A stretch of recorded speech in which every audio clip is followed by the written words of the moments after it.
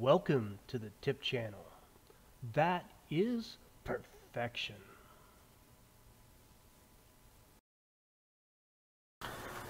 We finished up our electrical work this morning and now we're going to get ready to do the ceiling. Uh, we're going to insulate everything, uh, not to keep the heat in or keep the cool in, uh, but just for soundproofing.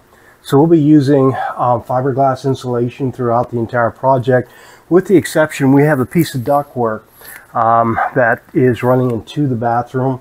And we're a little concerned that if the garage doors are left open and the AC is on upstairs, we could get, could get some um, condensation. So what we're going to do is a piece of rigid insulation underneath of this to keep the heat away from the duct so that we don't have to worry about condensation. We finished insulating our ceiling and I put up 7 16 OSB. Now the reason for the OSB is that we're going to put strips of wood on the ceiling and if there's any little gap in between of the strips of wood, Instead of seeing insulation, we're going to see OSB, so it's going to look like natural wood underneath of it. Uh, whenever we go to put the strips up, we're going to be using a construction adhesive on the rear side of the board. Now, I'm a cabinet guy, and a cabinet guy will tell you it's not the nails and staples that hold a cabinet together, it's the glue. The nails and staples are only there to hold it into place while the glue is drying. So we'll be using some construction adhesive and I'm going to be shooting the boards up with what's referred to as a pin tacker. Now the industry came out with these and they're a 23 gauge. Now they're about the size of a needle. Now they don't have a head on them. So what I'll do is as I'm nailing my boards, I'll go one at an angle like this and one at an angle like that so that the two pins are working to hold the board from coming down. Now if I end up with a board that's a little warped, I may want to have to shoot a 18 gauge nail in.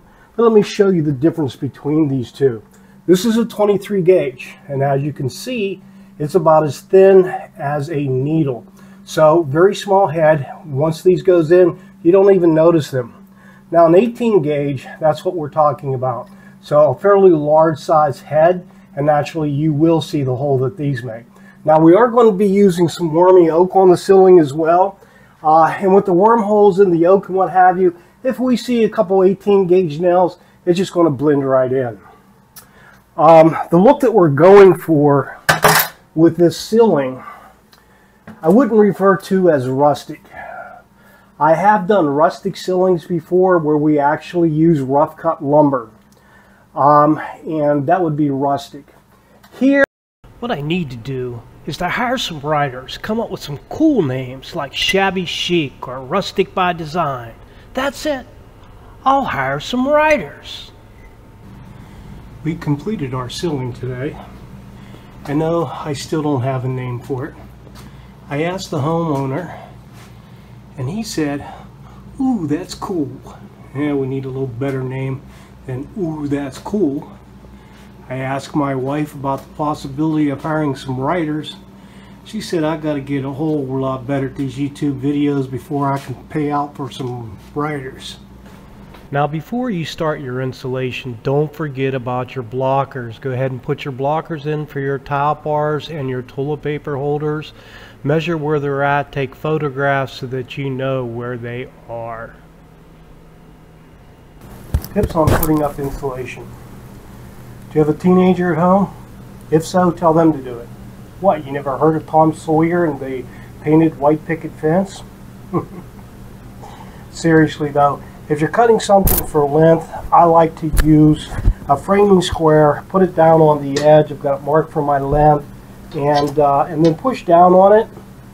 And with it squeezed down, it's a lot easier to cut. Now I do like these new snap-off blades for cutting insulation. And what I'm talking about is that you can take and slide the blade out so that you can cut very deeply through the insulation. As the end of the blade gets stalled, you just simply snap it right off. Now there's several tools in order to staple up insulation. Uh, for the staple length, you want quarter inch or 5 sixteenths. There's a couple different ways of stapling up the insulation. One is you can bend over the tab and staple it to the face of the 2 before. Um, Here's the problem with that, is that, as I mentioned, I like to glue things, especially drywall. Uh, if you glue the drywall, it doesn't require nearly as many screws, and you don't have as much problems with screws popping later on. So what I do instead is I staple to the inside.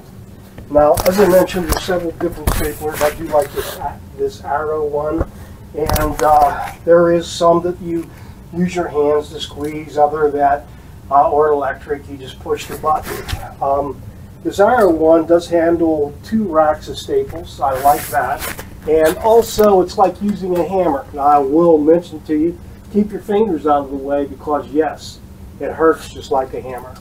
But the weight of the tool does the job.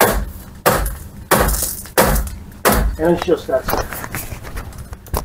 We're getting ready to put up our HardieBacker. Now, in this bathroom, we're going to have three tiles high each tile is about 13 inches. So we're looking at approximately 39 inches whenever we finish out. Um, the HardieBacker is 36, so that will actually overlap the drywall about three inches at the top.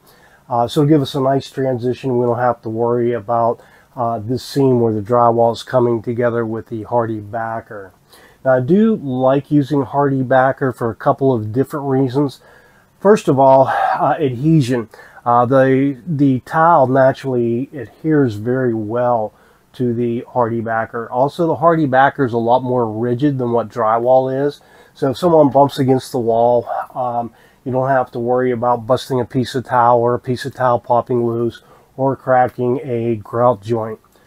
Um, so basically when we attach the HardieBacker, we want to go about every 8 inches.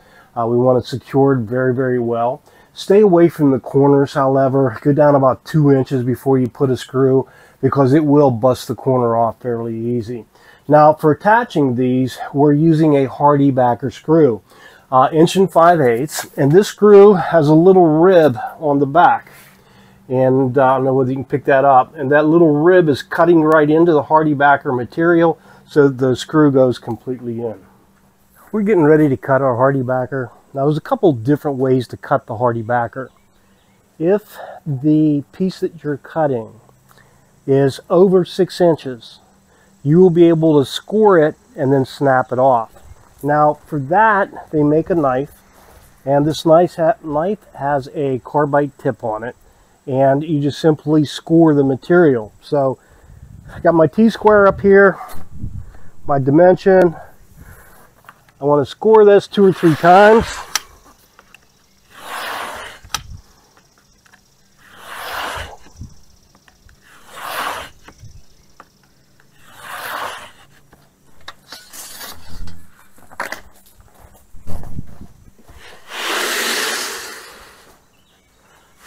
Now I can snap it.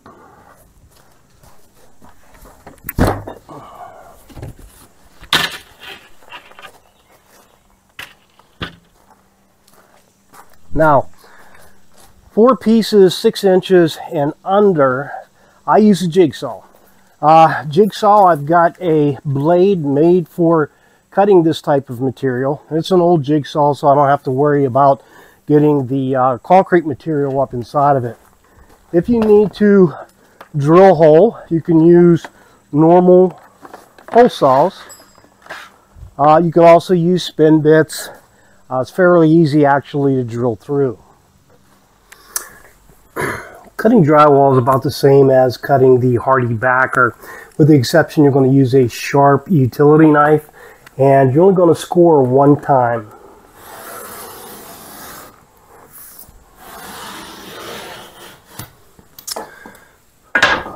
So you score it, snap it off, take your knife, and cut through the back paper.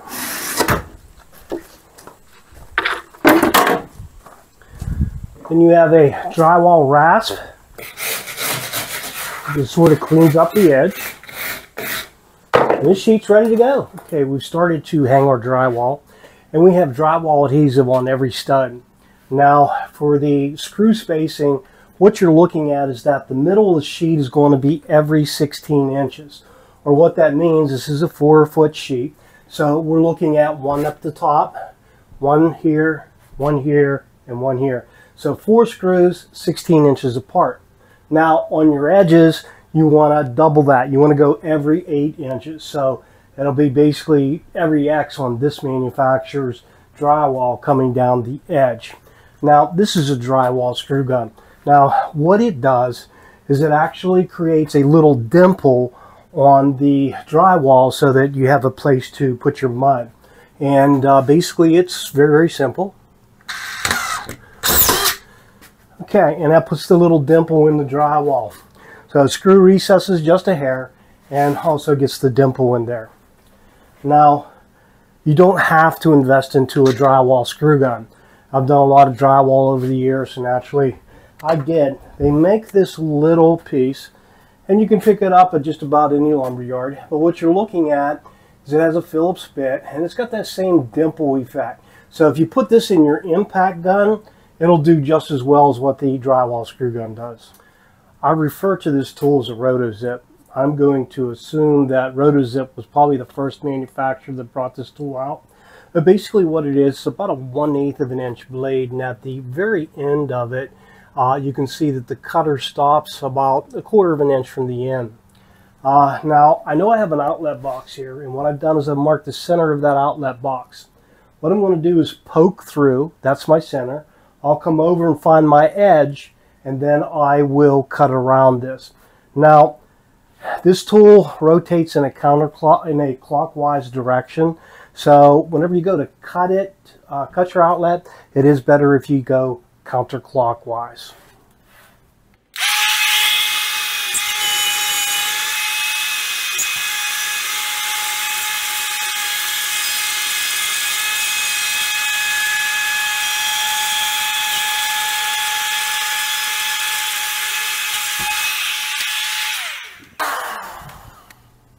And as you can see, perfect outlet hole. We got all of our drywall hung.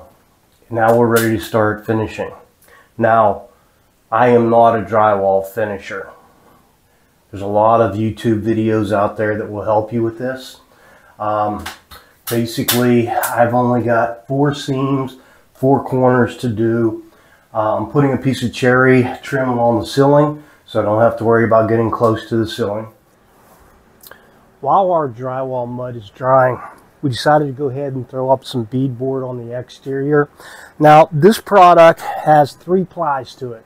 So it's just like the plywood you would use on a roof. Now, first of all, I have three words for you. Adhesive, adhesive, adhesive. I am going to be shooting this up with an 18 gauge nailer instead of the pin tacker because uh, this product will have a 10 to 1 warp. So uh, we want to glue it well, we want to screw it well, and this is where taking the time to actually level everything up, square everything, really comes into play because now everything just fits properly. I can't emphasize enough level and square, level and square. It makes the end project so easy. I just finished my second coat of drywall mud and at this point I normally go ahead and sand out just so I can see my high, my low spots before I put my third coat on. Uh, I thought I would take a break and um, spend a few minutes to talk about some things to help you with this process. Number one, wood ceiling. takes about 90% of your drywall out. Also, beadboard on the exterior, a nice basement garage look, very durable, don't have to finish any drywall out there. So basically what we're left with is this uh, wall area in here. And a couple of different things. Number one is they came out with this product which is called Ultra Lightweight Compound. Now, this used to be in a five gallon pan, but now as you can see, just like everything else, it's a four and a half gallon bucket. Things become smaller and more expensive. But anyways, this will sand a whole lot easier than the older compounds. That's why I'm suggesting this. They say that a good drywall finisher can put the mud on to where he barely has to touch it with sandpaper. That's not me. Now, you don't want to use this straight out of the bucket. I normally take and put about four or five inches into a clean five gallon bucket. And then you want to stir that up. Now, I use about half a bottle of water uh, I stir it with my Whirlybird. what? It's my tool. I can call whatever I want. Anyways, stir it up. That'll take the air out. It'll also um, thin it. You don't want it too thin to where it's falling off of your trowel, but at the same time, you want it to glide smoothly. So a whirly-bird is a uh, good tip for your product. Now, as you're sanding your walls, it does help if you have a portable light and you can actually look right up that wall. Now, one thing that I always say also is that your fingers can feel a whole lot more than what your eyes can see. So take your hands and run it over it. You'll find a rough spot that you didn't detect with your eyes that you need to address. Naturally, you think you have everything perfect and then you put the paint on, it's like, oh man, where did that come from? Now, one more tip is that I suggest using 3M sanding blocks. Now, these sanding blocks are nice in that they've got a square side, they've got a point on, so they're easy to get into places, they're easy to handle, and do a real nice job, relatively inexpensive. We've completed our drywall finishing.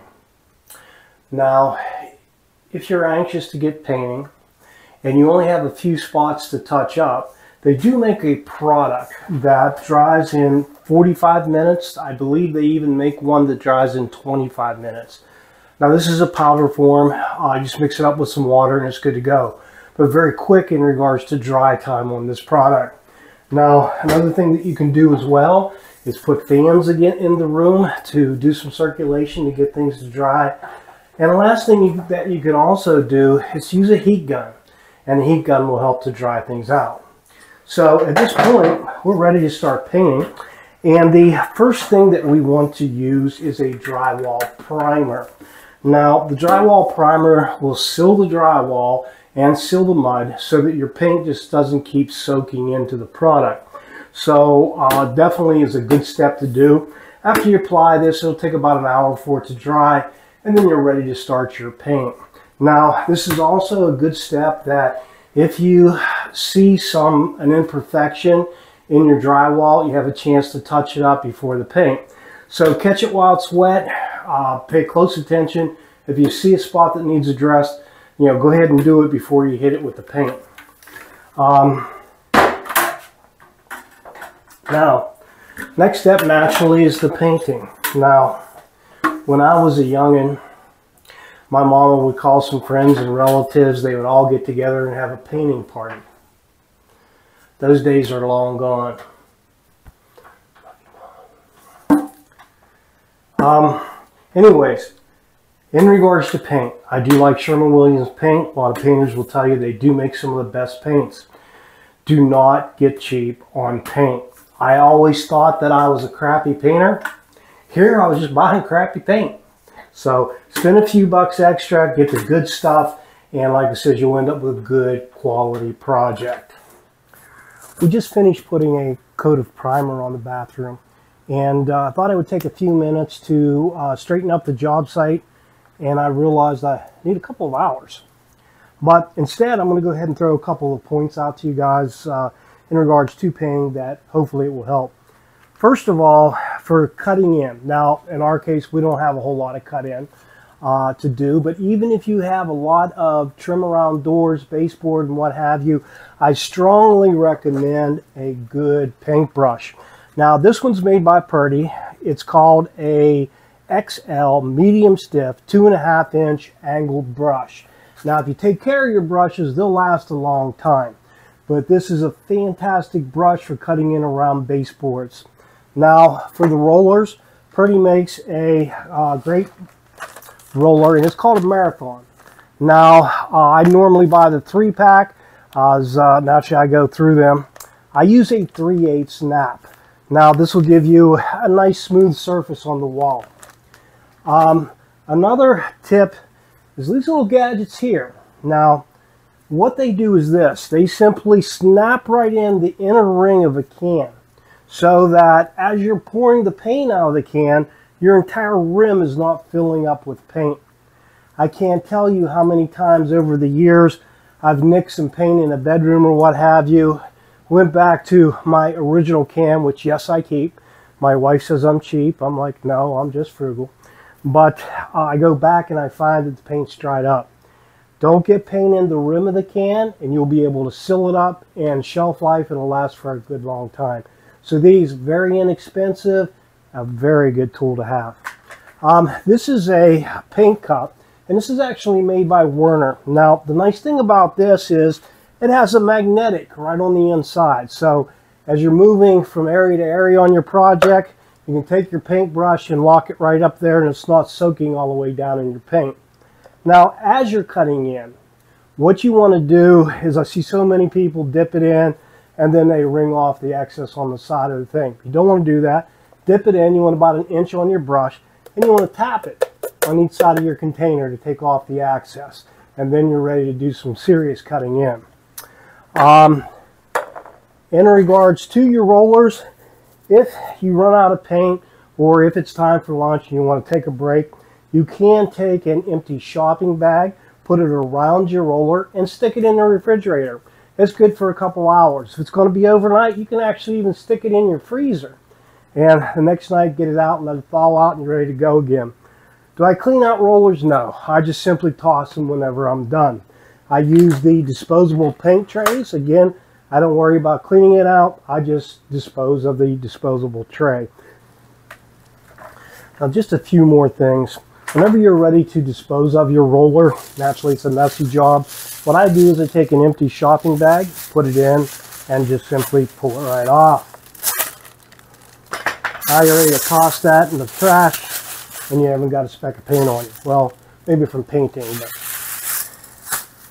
just a few other things to share with you. Um, if you have some young people in your home, this is a good project to spend some good quality time with them. That's the problem with our nation today is that we don't have enough young people willing to work with their hands. Who knows? You may have a Michelangelo on your hands. But this is a good project to share with a youngin. Tell them it's a party.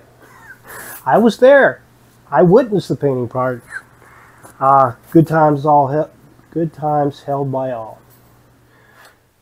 We're ready to start painting.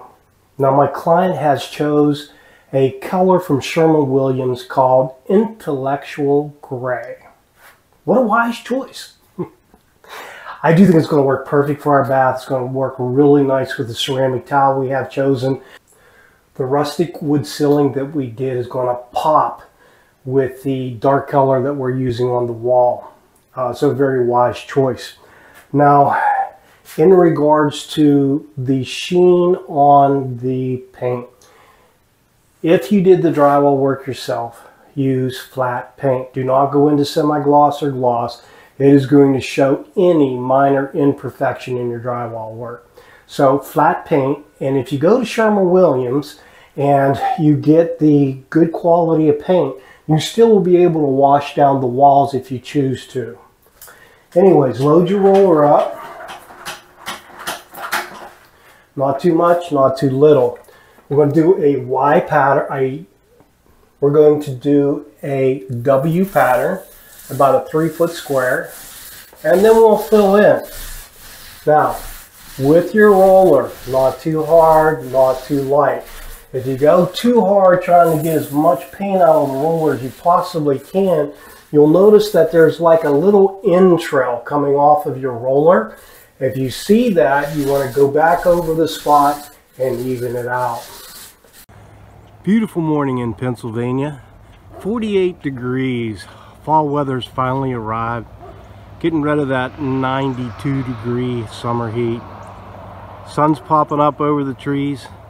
Gonna be a beautiful day. We're moving on to something a little more enjoyable today. We're gonna start our ceramic tile.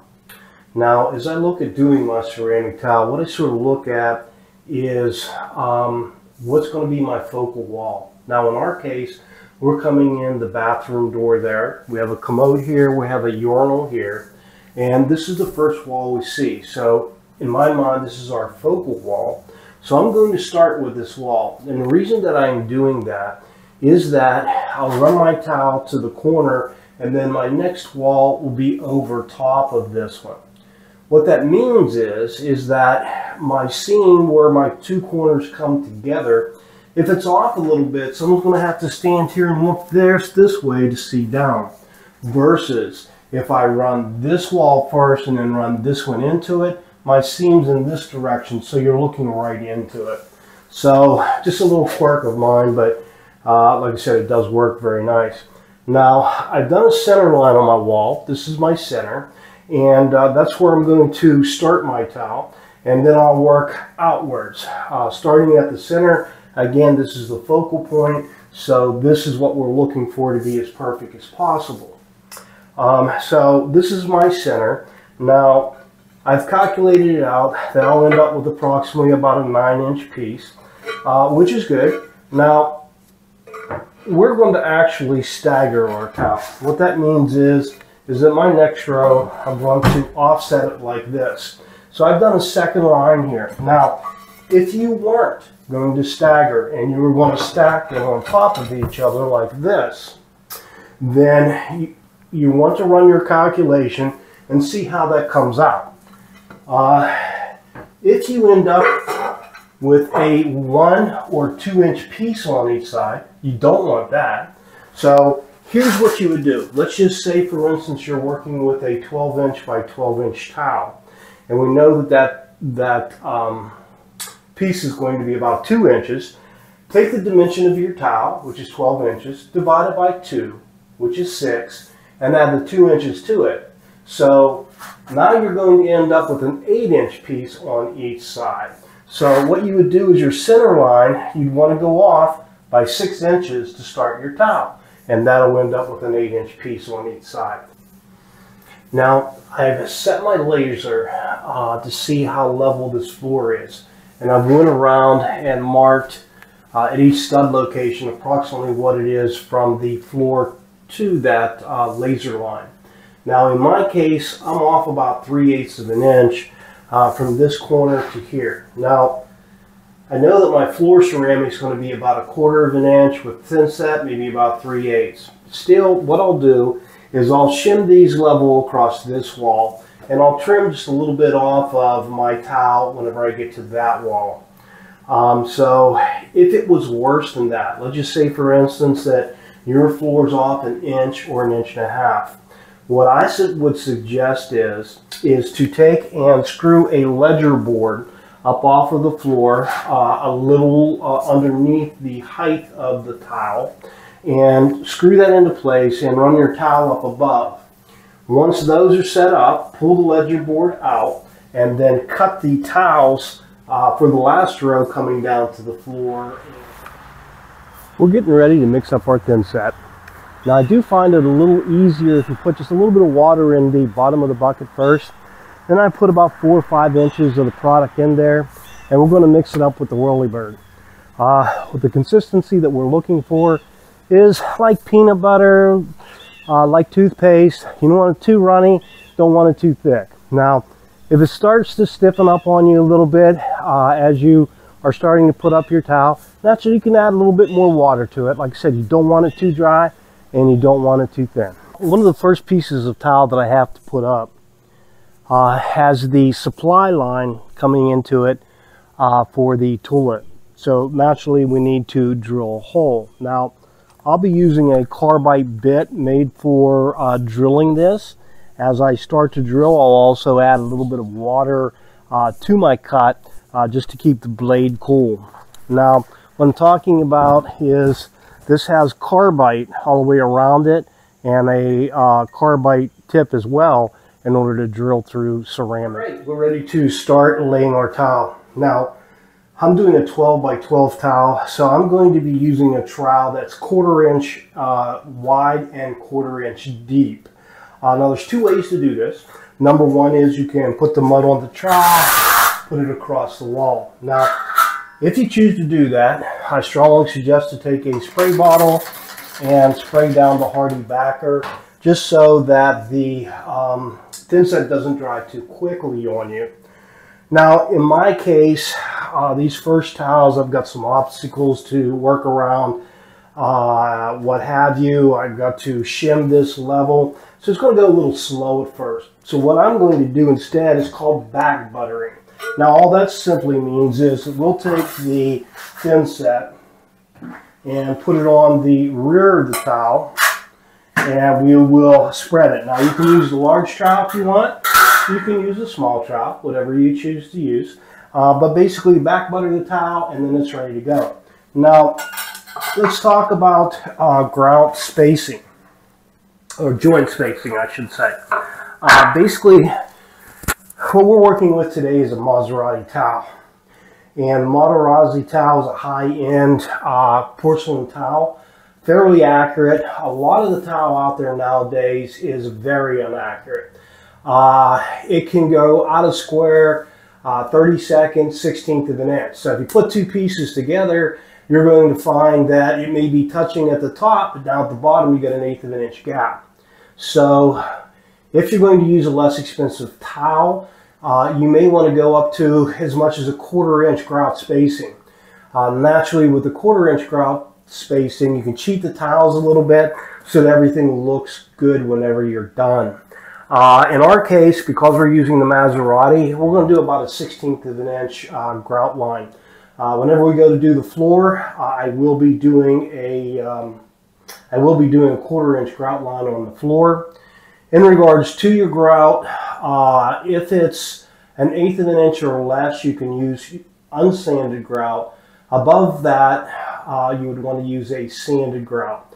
Now, again, the industry is always changing. I did notice they now also have a grout that it, that will work for either one. Uh, if you're going to be in a area that's going to have a lot of dampness and what have you, you may want to look at adding a product to um, slow down any mold growth. But we're going to start very slow, do some back buttering, uh, and get this product up we're ready to start cutting our towel. Now you're definitely going to need a wet saw in order to do this. You don't have to buy one. Uh, you can go out to the local rental place and rent one. Uh, I love doing ceramic towel, so I did invest into a towel. Now, when I'm cutting the towel, what I normally do uh, is you can put a pencil mark on the towel, but I like to be fairly accurate. Uh, so it's always that question, do I leave the line? Do I take the line? Do I split the line? It's a whole lot more accurate if you cheat the towel up to the saw blade, measure over for the dimension that you're looking for, uh, slide back, turn the saw on, and then make your cut. A lot more accurate than a pencil mark. Um, if you are looking at cutting a small piece, some towel manufacturers will provide this and it's pretty neat because you can do square if you want or if you need an angle uh, you can set the angle you can do 45s anything like that. Uh, a little quickie if all your dimensions aren't going to be the same is just grab a speed square. Now speed square you can set right into your sit right up on your saw and it keeps that small piece nice and square with the saw blade now there is going to be times where you're going to need to make a saw cut in the middle of the tile, say for instance an outlet or what have you. Now this particular saw does have a nice feature which is basically like a plunge cut. You can raise the uh, saw up and then bring it down on your workpiece.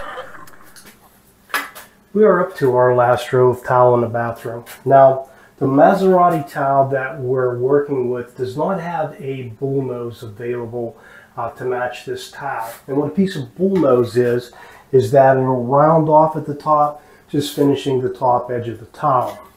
Now, uh, what we're going to use to finish off the top is a product uh, that's made by Schuler, Schuler, something like that. Anyways, basically what it is is a piece of aluminum. And uh, what it does is it caps off the top of the towel.